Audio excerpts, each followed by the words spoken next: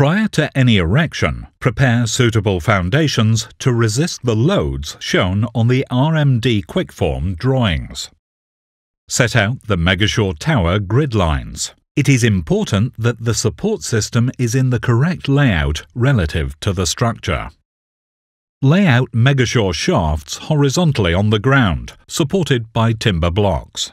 Ensure that the orientation of each section is with the webs all in the same plane. Bolt the shafts end to end into lengths that can be handled safely using the lifting equipment, and are long enough to create at least one braced lift. Bolt super slim soldier ledgers between pairs of assembled Megashor legs using M16 by 60 bolts and nuts, incorporating a Megashor plate washer to stiffen the connection. Do not tighten the bolts yet. Attach bracing to form a braced frame. In this case, rapid bar tie bracing is being used. The porthole bearings are installed into the appropriate portholes of the super slim members. The first end of the rapid bar tie, cut to the required length, is inserted between the webs of the super slim member and through the porthole bearing, and the rapid bar tie wing nut is installed. The rapid bar tie is then pushed back, and the opposite end is inserted between the webs of the super slim member through the porthole bearing and then fastened with the rapid bar nut. Square and level the frame before tightening the bolts connecting the super slim soldiers.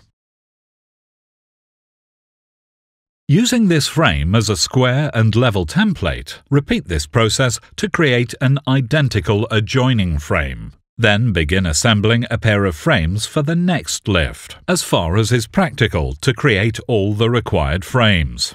Space the frames with timber blocks to ease lifting and allow the jacks to be installed.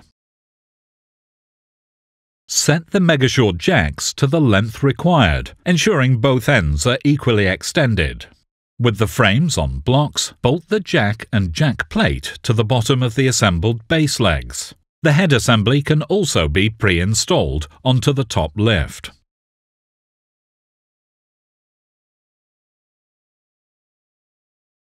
One pair at a time, lift the frames into suitable workspaces for the next step of the erection procedure.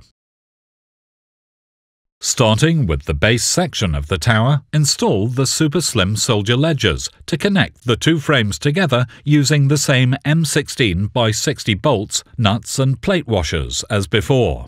For now, leave all bolts loose. Working from a suitable platform, lower the adjoining frame onto the soldiers and loosely fasten.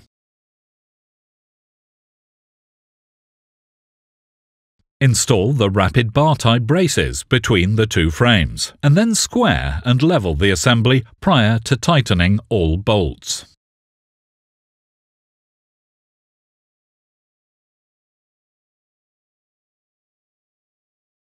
For increased productivity, the various lifts can be pre-assembled in this manner concurrently. Attach the lifting equipment and upend the first frame. Maneuver to the correct location and lower onto the foundations. Depending on the type of foundation and the load in the support, it may be necessary to provide grout under the Megashor brace plate. If grout is shown on the drawing, position the assembled frame on levelled shims, otherwise place directly onto the foundation.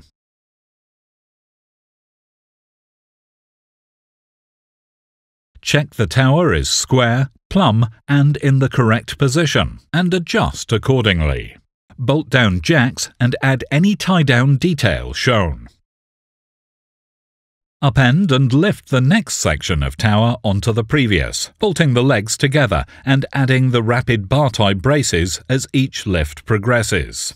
Continue this process until the required height has been reached. Finally, the jack bracing is installed. Connect the Megashor brace couplers to one end of the rapid bar tie braces by threading onto one end.